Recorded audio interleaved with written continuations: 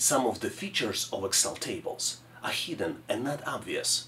In this video, we will focus on the benefits of Excel tables and how you can take full advantage of them in your day-to-day -day work. A lot of times, you may need to ensure data integrity for Excel tables data. For example, you might want to ensure that user can't enter text into numeric columns. To ensure data integrity in Excel table, you need to apply validation rules. To do that, you need to select the column for which you would like to apply rules, and then navigate to the Data tab and click on Data Validation button. Then you select Data Validation and you populate the values. There are three tabs in Data Validation input box. In the Settings box, you decide what type of validation would you like to apply. Then you have an opportunity to create an input message with title and then the message itself. And then you decide what kind of error you would give to the user in case users do not comply with the validation that you just put together. In our case, we're trying to create validation to make sure that the actual is actually a numeric value. To do that, we would need to select the whole number and then make sure that the numbers, for example, between 0, which actual cannot be less than 0, uh, and maybe 10 million we would want to alert the user that we put these types of restriction on this particular column. To do that, we need to define an input message. And our input message would indicate that there is a number limit applied for this column.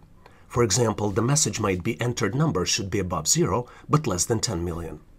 And as the last step, we would need to define what type of error alert we would want to show to the user. For the style of alert, you can either stop any action and prevent user from entering the data, or you can do just warning, or maybe just do an informational message. In our case, we will do a stop type of style, so user stops entering the data until they fix the issue. For the title of the error message, we will just uh, do a message, please fix this error. And for the message itself, we'll enter, entered number should be above zero, but less than 10 million. Now I can click OK. Excel shows the limitations applied to this particular column. So the message that we entered now shows up as a tooltip. There are limits applied. Entered number should be above zero, but less than 10 million. And even if we scroll the data, the message continues to stay and shows up. Now let's see what happens when we enter the data that is not within those limits. For example, if I enter in the actual column values uh, that are not numeric, let's see what happens. We get this error message that we predefined entered number should be above 0 but less than 10 million. And we can retry and fix the error uh, and then click the top button and that allows us to proceed. If you realize that you don't need data validation on Excel table, you can remove it. To remove data validation, you select any cell in that column that contains data validation, then click Data Validation button, and then here in the first Settings tab, we would need to uncheck and put any value, then we need to remove the message and make sure that we uncheck this box and then we remove the error alert and uncheck this box. Now all data validations have been removed. Excel table supports different design options to present information more effectively. You can use quick formatting options, banded rows and columns, display header row and totals, and do some other functions that help you process information quickly. To access Excel table formatting options, you need to click on any cell in the table and then you can see the Table Design tab shows up in the ribbon. It provides you a lot of different options. For example, you see that by default, header row, banded rows, and filter button are selected. Header row is responsible for the first row that shows the description of the table columns. Banded rows shows that every other row is a different color, so you can easily identify that row. And filter buttons show the drop-down boxes in the header row. When you have filter buttons available, you can quickly sort and filter data in Excel table. Let's look at other formatting options for Excel table. For example, if you need to quickly identify first column, you can select it and it will put them in bold so you can quickly know if you have multiple columns which one is the first column. Same applies to the last column. If you select this option, then you will always see the last column highlighted with the bold. Similar to the banded rows, there are also banded columns. so every other column would be in a different color. It is not very noticeable right now, but if we uncheck banded rows, then you can see that every other column is highlighted with the different color. And last but not least is the total row.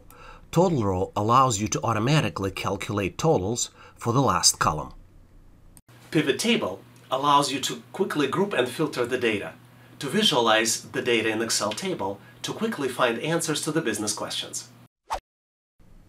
To create pivot table from Excel table, you need to select any cell in Excel table click on the Table Design options, and then click Summarize with Pivot Table. Excel offers you to create pivot table based on the table name, so you want to make sure that this is the right table that you're creating pivot table from, and you want to choose if you want to do it in existing worksheet or in a new worksheet. In our case, we will do it in the new worksheet. So Excel created new worksheet named Sheet 3, and this is the pivot table which doesn't have anything selected. But on the right hand side, we do have all the columns from the Excel table. The easiest way to start working with pivot tables is to select all the fields that you're trying to include in your data visualization. In my case, I'm going to select all the fields. I'm also going to expand column A to see the entire description. I will also expand column B's and C to make sure all the data fits. As you can see, presented data doesn't make any sense because the grouping is not correct. Excel groups the data by operating expenses instead of grouping it by category. And in original Excel table, Category is the grouping for operating expenses. To fix that, we would need to change the sequence of the items in the row section of the pivot table. I'm going to drag, select and drag category and put it on top of operating expenses. And now data makes total sense. We have fees and then all the items, all the operating expenses are grouped by the categories. So fees, one of the categories, dues and subscription, insurance fees and legal and auditing fees are items within the fees category.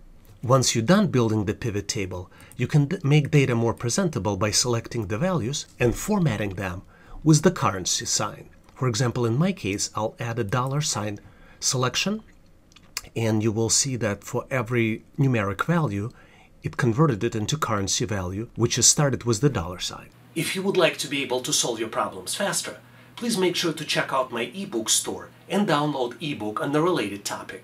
All links to the ebooks are in the description of this video. One of the biggest benefits of Excel tables is its ability to extend automatically to support data entry. For example, to add additional data into Excel table, all you need to do is just start typing. And as you can see, Excel extends the table. This is the indication of the table end. The small um, angle and corner uh, at the end of the table, which shows where table ends. It was extended from the internet expenses into financial fees. Another way to insert the new data into Excel table is when you are at the last cell of the table, just click the tab button. And as you can see, insert just adds a new row and you can just start typing. You might have noticed that Excel table header row is always visible. It is not noticeable right now, but if you make this file smaller and you can start scrolling, you see that operating expense category, estimated and actual are always visible. In fact, they become a part of the header of the column name. Having them always available is a big benefit when you're doing data entry for the table that has a lot of rows. Excel Slicer allows you to filter data for Excel table using easy to understand user interface. To enable Excel Slicer, you need to put the cursor into any cell within the current Excel table, click on the Table Design tab, and click Insert Slicer. Here you can select the columns based on which would you like to slice the data. Since concept of slicing is very similar to concept of filtering, what we can do, we can select the category as a slicer and click OK. Now I should be able to quickly select all the items in the particular category. So for example, if I want fees, I just need to click on the fees option. And Excel filters out and select all the items that have fees as a category. You can do others. You can do the same thing for technology, for example. Or if you hold the shift button, you can select multiple items. Another option to multi-select is this button in the category uh, user interface. You need to click on this and do multi-select. To remove all the slices, you need to click the bottom clear filter. Sometimes you may need to revert Excel table back into the regular Excel range. let's look at how you can do it quickly in Microsoft Excel. To resize data in Microsoft Excel table, you need to navigate to Table Design tab. Obviously, you need to have the table selected or any cell in the table selected to make this Table Design tab available and visible to you. And then once you have uh, any cell selected, you click Convert to Range. Excel prompts you for the confirmation, do you really want to convert table into a normal range? You click Yes here. And after that, table gets quickly converted into the regular range. It doesn't look much different, but if you compare, because I have copies, I have two tabs here. One would be a regular range, and then I have the same information in the Excel table. For the table, you can quickly identify that you have automatically selected sorting and filtering capabilities and you have table design option available. If we go to copy of that tab, no matter where you select on this range, there is no table design tab available and sorting and filtering capabilities are not available by default. If you would like to remove formatting, which was originally applied to the table, now you have to select the entire range and after you selected the range, you would need to select one of the styles that you would like. By default, Excel applies normal style, so you might as well select normal style to start over. How would you solve the challenges described in this video? Could you please share your thoughts in the comments of this video? Thank you very much. Unlike regular Excel ranges, where you need to manually add sorting and filtering functionality, you can sort and filter data in Excel tables right from the start. Sorting and filtering capabilities come automatically with each and every Excel table. To take advantage of sorting and filtering, you need to use drop-down at the first header of the Excel table. You have options of sorting A to Z, sorting Z to A, sorting by color, and using some text filters. For example, the easiest way to sort is just click Sort A to Z. With this type of sort, Excel organizes the data in alphabetical order. You can easily sort using the values in another column. For example, if you'd like to sort based on the estimated column, you can say largest to smallest, and you see what Excel did. It removed the sorting capabilities in column A and added sorting capabilities in column B. You can apply filtering on top of sorting. For example, we have column estimated sorted right now, from the highest to lowest values. Now, if we would like to add a filter, we just need to click on the drop-down box and select the values that we would like to use and have here.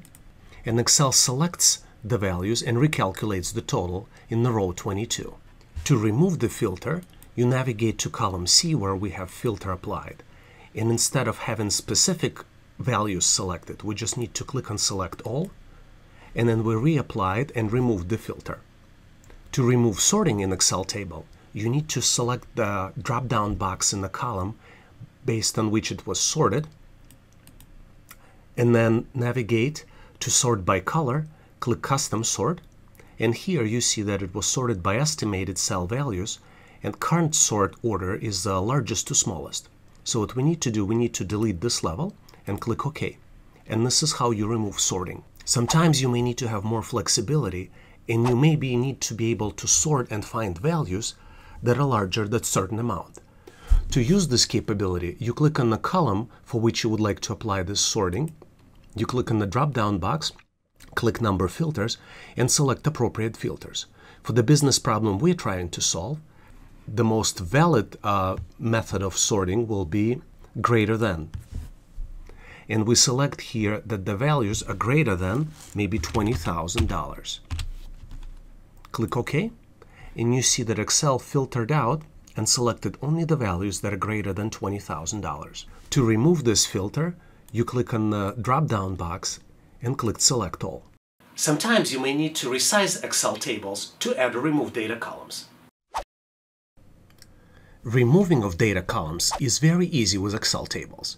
You just need to select the column you're trying to remove and then say Delete. And Excel automatically shortens and resizes the table. Adding additional data to Excel table is very easy, you just need to start typing. Once I typed category, as you can see Excel added additional column and now you just need to start populating the values.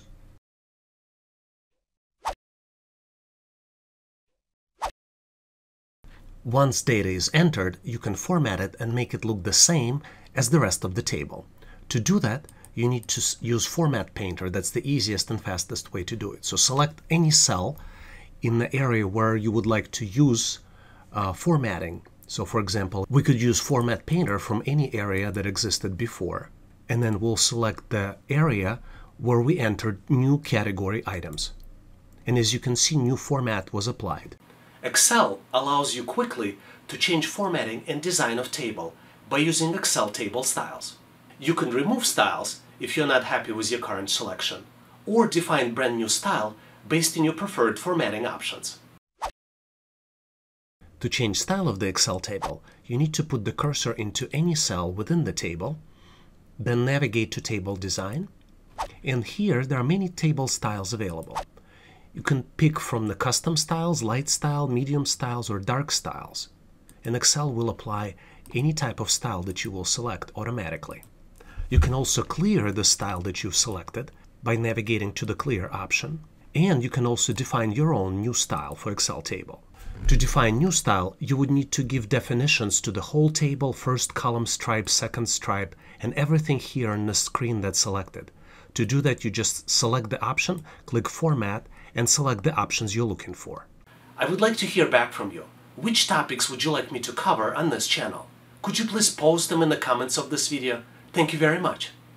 Sometimes you may need to create a copy of Excel table or remove Excel table from your worksheet. The easiest way to create a copy of Excel table is to create a copy of the worksheet.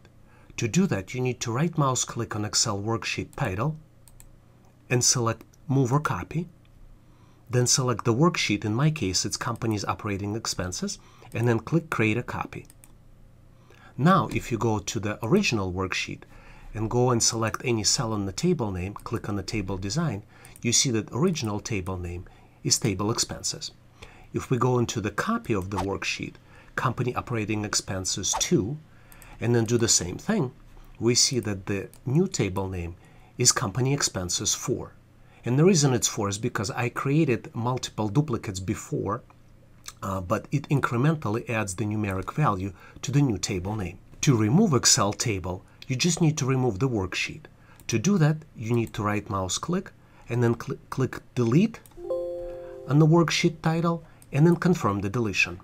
If you found this content valuable, please give this video a thumbs up, subscribe to this channel, and share with your friends to help them learn faster. Thanks again for watching, and I'll see you in my next video.